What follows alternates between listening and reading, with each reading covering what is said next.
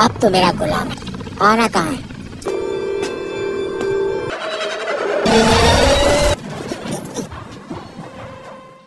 तो मूवी शुरू होती है और हमें केविन नाम के एक लड़के को दिखाया जाता है जो ये काफ़ी जख्मी होता है।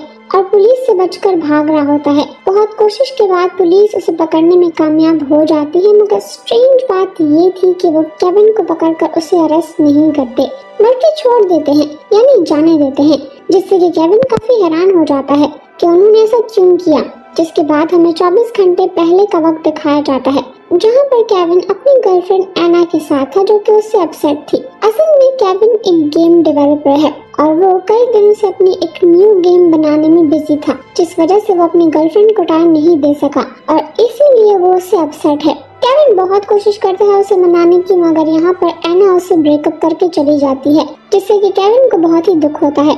अब अगले दिन जब केविन ऑफ़िस जाता है तो वहाँ सभी केविन के लिए सेलिब्रेशन करते हैं, क्योंकि उसका गेम एक कंपनी को बहुत पसंद आया है और वो उनके साथ एक डील करने वाले थे। पार्टी करने के बाद केविन घर जाता है, मगर घर पहुंचकर उसके लिए एक नई मिस्ट्री खुल चुकी थी। क्योंकि उसके घर में रैंडर नाम की एक लेडी थी जो कि केविन के घर को अपना घर बता रही थी। केविन समझता है कि शायद उसके साथ कोई प्रैंक हो रहा है, मगर तब रैंड्रा पुलिस को कॉल करके बुला लेती है और सरप्राइजिंगली जब केविन घर के अंदर आता है, तब वो देखता है कि उसके घर का तो पूरा नक्शा ही अचानक से बदल चुका है। जिसे देखकर केविन बिल्कुल हैरान रह जाता है। रैंड्रा यहाँ पर पुलिस वालों को घर के पेपर्स भी दिखाती है, जो देखने के बाद पुलिस वाले केविन को ही अपने घर से निकाल देते हैं।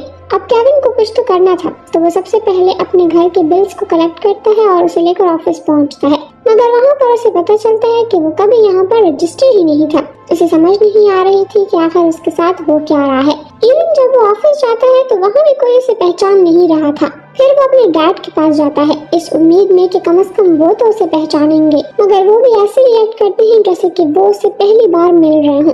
अब केविन के पास कोई रास्ता नहीं था, इसलिए वो उसी लड़की रैंड्रा के पास जाता है और उसे कन्फ्रंट करता है कि आखिर वो ये सब कैसे कर रही है? और उसने उसके घर पर कब्जा क्यों किया हुआ है? उसका मकसद क्या है? मगर यहाँ रैंड्रा उसे कुछ भी बताने से मना कर देती है, जिस पर केविन एक नाइफ से उसे डराने की कोशिश करता है। मगर यहाँ रैंड्रा उस नाइफ को ही अपने अंदर घुसा लेती है ये देखकर केविन के होश उड़ जाते हैं और वो वहाँ से भागने लगता है। मगर तब तक पुलिस वहाँ आ चुकी थी और फिर हमें वही वाला सीन दिखाया जाता है जिसे कि हमने मूवी के स्टार्ट में देखा था, जहाँ पुलिस केविन को अरेस्ट करके छोड़ देती है। केविन के फ़ोन पर उसे जो एड्रेस रिसीव हुआ था, वो उस एड्रेस पर जाता है जो कि एक लाइट हाउस का एड्रेस था। मगर वहाँ पहुँच कर वो देखता है कि उधर कोई भी नहीं है और अब उसके पास रहने के लिए कोई जगह भी नहीं थी तो इसीलिए वो वहीं पर लेट कर सो जाता है। मगर जब वो जागता है तो वो देखता है कि वो लाइट हाउस का इंटीरियर बिल्कुल बदल चुका है। तभी दरवाजे पर नॉक होता है और कैबिन के लिए कोई पार्सल आया था। पार्सल रिसीव करते हुए रैंडा भी वहाँ पर आ जाती है।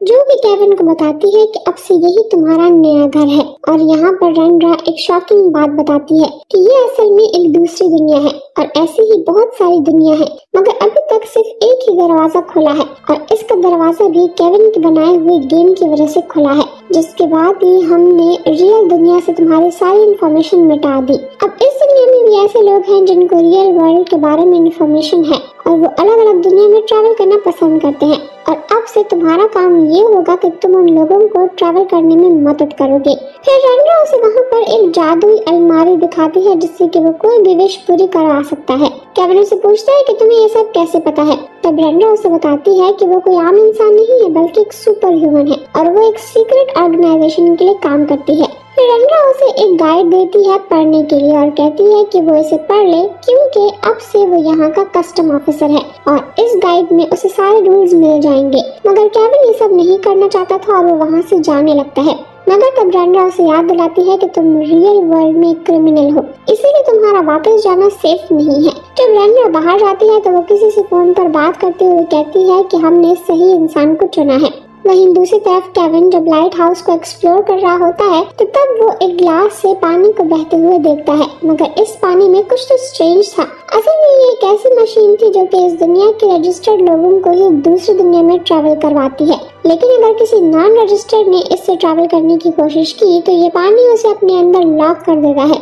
केविन अपने फ्रेंड को लाइट हाउस बुलाता है और फॉर्चुनेटली उसे केविन के बारे में सब कुछ याद था। मगर उसे भी कुछ समझ नहीं आ रहा था कि केविन के साथ सब कुछ क्यों हो रहा है। तभी वहाँ पर एना आती है, जो कि किसी और आदमी एंटन के साथ थी। और एना भी यहाँ पर केविन को भूल चुकी थी। असल में एंटन भी इस सीक्रेट सोसाइटी का मेंबर है। उसका अब एना के साथ रिलेशनशिप है तो इसीलिए वो एना को दूसरी दुनिया एक्सप्लोर करवा रहा है। और अब वो उस दुनिया में जाना चाहता है जो कि एंटन ने खोला है। अब जहाँ पर ये लोग होटल में स्टे करते हैं, वहाँ पर केविन इन्हें फॉलो करता है। मगर तभी वहाँ पर एक रोबोट उस पर अटैक कर देता है। मगर क्योंकि ये दुनिया केविन ने ओपन की थी, इसलिए यहाँ उसमें भी रनरा की तरह सुपर पावर्स आ जाती हैं, जिससे कि वो उस रोबोट को डिस्ट्रॉय कर देता है। फिर उन्हें उस होटल में एक लड़की रोजा मिलती है, जो कि बहुत ही जख्मी हालत में थी, और वो केविन से पानी मांगती है। और पानी पीते ही उसके सारे जख्म खुद ब खुद भरने लगते हैं। रोजा बताती है कि इस दुनिया का पानी किसी भी घाव को ठीक कर सकता है। इसमें क्योर करने की पावर्स हैं। असल में रोजा भी एक कस्टम ऑफिसर है जो कि 27 साल पहले यहाँ पर आई थी और तब से ही उसकी एज नहीं बढ़ी, क्योंकि इस दुनिया में किसी की एज नहीं बढ़ती। इसके बाद केविन वापस से लाइट हाउस में जाता है। मगर अगली सुबह जब उसकी आँख खुलती है तो वो देखता है कि किसी तरह से एक दूसरी दुनिया का दरवाज़ा भी खुल गया है। जिसकी शुरुआत एक खूबसूरत बीच से होती है और वहाँ पर नहाता है और फिर से लाइट हाउस में आ जाता है और रंड्रा उससे मिलने के लिए आती है। वो लोग दुनिया देखने आए थे रंगा उसे एक लॉकेट देती है, जो कि उसका टाइम भी खुद ही सेट कर देती है और उसके बाद वो लॉकेट एक बिच्छू में बदल जाता है। और फिर रंगा उसे बताती है कि तुम किसी भी दुनिया में बस पंद्रह किलोमीटर ही जा सकते हो और अगर तुमने इससे आगे जाने की कोशिश की तो शायद तुम मारे जाओ। अब रंगा उसके लिए एक पार्टी भी अरेंज करवाती है ताकि कि वो लोगों को उससे इंट्रोड्यूस करवा सके। फिर केविन अपने पेरेंट्स से मिलने की कोशिश करता है और वो एक ट्रेन में जाता है। और जैसे जैसे वो पंद्रह किलोमीटर से आगे बढ़ रहा था तो उसकी हालत खराब होने लगती है। तभी वहाँ पर लोगों में से एक आदमी उसे पानी पिला देता है। जिससे कि वो ठीक हो जाता है, वो फाइनली अपने घर पहुँच जाता है। लेकिन उसके फादर उसे अभी भी नहीं पहचान पा रहे थे, क्योंकि उसके फादर एक टीचर थे तो इसीलिए यहाँ पर केविन खुद को स्टूडेंट बताता है और उनके साथ खाने पर कुछ टाइम स्पेंड करता है, जिसके बाद वो वापस लाइट हाउस चला आता है। और फिर रात को वहाँ पर एना और एडगर भी आते हैं क्योंकि एना को वो न्यू दुनिया बहुत ही पसंद आई थी, इसीलिए वो यहाँ पर घूमना चाहती है। पर जब एडगर वहाँ के पानी में अपना हाथ डालता है तो वो पानी उसे पकड़ लेता है। केविन उसे बोलता है कि उसे अपनी पूरी इन्फॉर्मेशन देनी होगी ताकि कि वो उसे आज़ाद कर सके। असल में ये केविन का ही प्लान होता है, ताकि कि वो जान सके कि वो एना के साथ रिलेशनशिप में कितना सीरियस है। तब यहाँ पर एडगर उसे बोलता है कि असल में सोसाइटी के लोगों ने मुझे उसके साथ बाँध दिया है, जो सुनकर केविन खुश हो जाता है क्योंकि अब वो एना को दोबारा से हासिल कर लेगा। अगले रोज केविन एना के पास जाता है और उसे बोलता है कि तुम्हारी यादाश्त मिटा दी गई है, इसीलिए तुम मुझे पहचान नहीं पा रही हो। पर एना को ये सब कुछ बहुत ही अजीब लगता है। लेकिन जब केविन उसे डेट पर पूछता है तो वो उसके लिए मान जाती है। अब अगले दिन केविन पार्टी में एना के साथ आता है। तो रैंड्रा ये सब कुछ देख लेती है और रोजी एना को अपने साथ अंदर ले जाती है। और रैंड्रा केविन को बोलती है कि तुम्हें पुराने लोगों को भूलना होगा। और फिर रैंड्रा उसे बहुत सारे लोगों से मिलवाती है। उनमें से ही वो एक कस्टम ऑफिसर से भी मिलता है, जो कि केविन से पहले इस दुनिया का कस्टम ऑफिसर था। वो केविन को बोलता है कि मैंने बहुत सारे दुनिया के दरवाजे खोल दिए थे और इसीलिए सीक्रेट सोसाइटी के लोगों ने मुझे निकाल दिया। वो उसे बोलता है कि इन सारी दुनिया में से एक ऐसी दुनिया भी है जिसे के नोबल कहा जाता है और वो हेवन है और वहाँ तक आम लोग नहीं पहुँच सकते और सिर्फ़ क्रिएटर ही उस दुनिया को चलाते हैं जिन्होंने सारी दुनिया को बनाया है। अब यहाँ पर केविन पार्टी में सबके साथ बिज़ी हो गया था। तो वो एना को सही से टाइम नहीं दे पाया, जिस वजह से एना उससे रूट कर अपनी दुनिया में वापस चली आती है। पर अपने घर जाने से पहले उसे सोसाइटी का एक आदमी मिलता है, जो कि उसे घर ड्रॉप करने को बोलता है। और फिर एना मान जाती है। यहाँ पर असल में ये रनरा की चाल थी, ताकि वो उसे किसी और दुनिया में पहुँचा दे। अब केविन को फील होता है कि एना वहाँ पर नहीं है, इसीलिए वो लाइट हाउस वापस आ जाता है। फिर उसके बाद केविन को एक टास्क दिया जाता है। जिसमें कि उसे उस प्लेनेट की इंफॉर्मेशन लेनी थी, जिसे कि हेवन कहा जाता है। यहाँ पर रनरा उसे कहती है कि उसे ये पता लगाना है कि वो लोग इतनी आराम से कैसे रह रहे हैं, क्योंकि वहाँ पर ना कोई वॉर है, ना कोई लड़ाई है, और ना ही कोई एक दूसरे पर अटैक करता है। इसीलिए वो लोग केविन को टास्क देते हैं। अब इसके बाद केविन एना के घर की लोकेशन निकाल कर वहाँ पर पहुँच जाता है। लेकिन वो पंद्रह किलोमीटर के फासले से दूर था। इसीलिए जब वो पंद्रह किलोमीटर से आगे जाता है तो यहाँ उसकी हालत खराब होने लगती है। और फिर केविन वहाँ पर पड़ी स्नो को खा लेता है, जिसकी वजह से वो खुद को बचा पाता है। अगले सीन में एडगर अपने सीनियर से एना के बारे में सवाल करता है, लेकिन वो उसे कुछ भी नहीं बताता और उसकी इंसल्ट करता है। और फिर एडगर अपने सीनियर को एक कार में बैठा लेता है और उसकी की अपने पास रख लेता है और फिर उस कार को पंद्रह किलोमीटर से आगे ले जाता है, जिससे कि उसके सीनियर का भी मरने जैसा हाल हो जाता है। फिर एडगर उसे पानी देता है और बोलता है कि आज से मैं तुम्हारा सीनियर हूँ, मैं तुम्हारा बॉस हूँ और अब तुम मुझे एना के बारे में बताओगे। वहीं केविन जब एना के घर पहुँचता है तो देखता है कि वो घर पर नहीं है और इसीलिए वो लाइट हाउस फिर से आ जाता है। और जब वो वहाँ पर जाता है तो एक न्यू दुनिया का दरवाज़ा खुल चुका था। और ऐसा लगता है कि जैसे ये दुनिया एपोक्लिप्स का शिकार है। सिर्फ़ कुछ ही लोग वहाँ पर ज़िंदा थे और वो एक आयरन की फैक्ट्री में काम करते थे। और उनकी जो लीडर थी, वो उन पर बहुत ही जुर्म करती थी। वो असल में यहाँ की कस्टम ऑफिसर भी है। और वो केविन को देखकर पहचान लेती है कि ये दूसरी दुनिया का कस्टम ऑफिसर है। वो अब अपने लोगों के सामने स्पीच देने वाली थी और वो केविन को भी ज्वाइन करने के लिए बोलती है। और जब केविन स्पीच दे रहा होता है तो उसे क्राउड में एना नज़र आती है, जिसकी हालत बहुत ही खराब थी और वो बहुत ही कमज़ोर हो चुकी थी। वो लेडी एना को छोड़ने वाली नहीं थी, इसलिए केविन एक प्लान बनाता है। तो वहाँ के सभी लोगों को अपनी लीडर की रिस्पेक्ट में स्टेज पर आने को बोलता है। और फिर वो सब ऊपर आ जाते हैं। जब वहाँ पर रश बढ़ जाती है तो केविन इसी का फ़ायदा उठाकर एना को वहाँ से ले जाता है। लेकिन यहाँ पर वो कस्टम ऑफिसर उसे देख लेती है। इसीलिए अब उन लोगों के बीच में लड़ाई हो जाती है। लेकिन उस कस्टम ऑफिसर के लोग फिर से वहाँ पर आ जाते हैं और वो अपने लीडर को हवा में उछालने लगते हैं। और इसी बात का फ़ायदा उठाकर केविन वहाँ से लाइट हाउस आ जाता है। अब केविन यहाँ पर बीमार एना का ख्याल रख रहा होता है। अब तभी यहाँ पर केविन का दोस्त बन जाता है, जो कि उसे बोलता है कि मुझे इस सोसाइटी का सीनियर बना दिया गया है। यानी कि वो पहले से ही सीक्रेट सोसाइटी का मेंबर था और इसीलिए उसकी आदाश भी नहीं गई थी। वो केविन पर बहुत गुस्सा होता है कि उसने बिना परमिशन के एना को यहाँ पर लाया है और इसलिए अब केविन को इस चीज़ की सजा मिलेगी। और वो केविन की अब 15 किलोमीटर की टाइम रीच को 50 मीटर्स कर देता है। अब हम एना को देखते हैं जिसकी हालत खराब हो रही थी। तो केविन उसे उसी बीच वाली दुनिया पर ले आता है।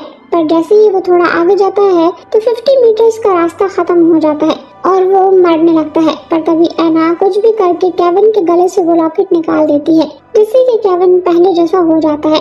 और अब केविन जहाँ चाहे, जितना चाहे जा सकता है। अब एक न्यू दुनिया का दरवाज़ा भी खुलता है और केविन उसमें भी जाता है तो उसे वहाँ पर वो लग्जूरियस लगता है। फिर वो उसे एक्सप्लोर करने लगता है और उसकी मुलाकात उसी दुनिया के कस्टम ऑफिसर से होती है। उसके बताने पर पता चलता है कि इस दुनिया का नाम आर्कन है और ये वही दुनिया है जिस तक के पहुँचने के लिए केविन को ये टास्क मिला था, जिसको कि हेवन कहा गया था। कस्टम ऑफिसर उसको भी उसकी इन्फॉर्मेशन देता है और उसको बोलता है कि ये भी 2041 का साल चल रहा है और हम बाकी सारी दुनिया से एडवांस है। हमने ही असल में सारी दुनियाओं को बनाया है और उन सभी दुनियाओं के टाइम को इस रियल वर्ल्ड के टाइम से आगे कर दिया है। ताकि अगर कोई भी वॉर या फिर नेचुरल डिजास्टर्स हो तो वो हमें पहले से ही इंफॉर्मेशन उनकी मिल जाए और हम फिर वो गलतियाँ अपनी दुनिया में ना दोहराएँ। हमारी दुनिया में इतना पीस है, जो कि किसी हेवन से कम नहीं है। यानी कि यही रियल दुनिया है और बाकी सारी दुनिया आर्टिफिशियल है। केविन को समझ आ जाती है कि इन लोगों ने ये दुनियाएँ सिर्फ़ अपने फ़ायदे के लिए बनाई हैं। और अब केविन वहाँ से लाइट हाउस जाने के लिए निकलता है। पर वो ऑफिसर उसे जाने नहीं देता, क्योंकि उसे अब उनकी दुनिया के बारे में बहुत सारे राज पता चल चुके थे। और इसीलिए वो उनकी दुनिया के लिए अब खतरा है। और अब यहाँ पर सभी उस पर अटैक करते हैं। तब केविन बेचारा जख्मी होकर पानी में कूद जाता है। और जैसे ही वो पानी के कांटेक्ट में आता है तो उसके सारे जख्म भरने लगते हैं। अब पानी में वो एक टनल की हेल्प से बच निकलता है। तो अब आर्कन दुनिया के लोग केविन के लाइट हाउस को सीमेंट से भरने लगते हैं। और फिर केविन के पीछे वही डॉल रोबोट भी लग जाती है। पर केविन कैसे भी करके उनसे बचकर लाइट हाउस तक पहुँच जाता है। और वो अपनी दुनिया में वापस आ जाता है। वापस आने पर उसे रंड्रा मिलती है, जो कि उसे बोलती है कि मैंने एना को किसी और दुनिया में भेज दिया है। वो रंड्रा से उसकी लोकेशन पूछता है, पर वो नहीं बताती। जिससे कि केविन को बहुत ही गुस्सा आता है और अपना सारा गुस्सा रैंड्रा पर निकालता है। रैंड्रा को भी गुस्सा आता है और उसकी सुपर नेचुरल पावर की वजह से लाइट हाउस टूटने लगता है और वो आसपास के पत्थर को केविन की तरफ़ डाइवर्ट करती है। पर यहाँ केविन ने भी अब अपनी पावर्स को यूज़ करना सीख लिया था। इसीलिए वो उन सब पत्थरों को वहीं पर रोक देता है और खुद उसके करीब आकर उसके पेट में चाकू मार देता है, जिसके बाद रेंड्रा उसे बोलती है कि अब क्रिएटर्स तुम्हें नहीं छोड़ेंगे, जिसके बाद रेंड्रा का लाइट हाउस पे कंट्रोल भी टूट जाता है और पूरा लाइट हाउस डिस्ट्रॉय हो जाता है। और जैसे ही लाइट हाउस टूटता है, सबकी यादाश्त वापस आ जाती है। केविन की मॉम उसे फ़ोन करती है और उसे घर पर बुलाती है। जो सुनकर केविन की खुशी का कोई ठिकाना नहीं था। तभी वहाँ पर बेन भी आ जाता है, जो उसे बोलता है कि तुमने दूसरी दुनिया का दरवाज़ा बंद कर दिया है। पर केविन उससे हेल्प माँगता है और एना को ढूँढने को बोलता है। पर यहाँ पर बेन उसे बोलता है कि अब हमें कोई और ही जगह ढूंढनी होगी ताकि कि हम दूसरी दुनिया में जा सके, क्योंकि लाइट हाउस तो टूट चुका है। इसीलिए अब हमें कोई और लोकेशन ढूंढनी होगी, जिसके बाद वो दोनों कार में बैठकर उस लोकेशन को ढूंढते हैं। और लाइट हाउस को भी दिखाया जाता है, जो कि टूटने की वजह से अब उसमें आग लग चुकी थी। और इसीलिए फायर ब्रिगेड वाले पानी से उसे बुझा रहे थे। और उसी पानी की वजह से वहाँ पर रन रात दोबारा से रिवाइव होने लगती है। और इसी के साथ ही मूवी यहीं पर एंड हो जाती है।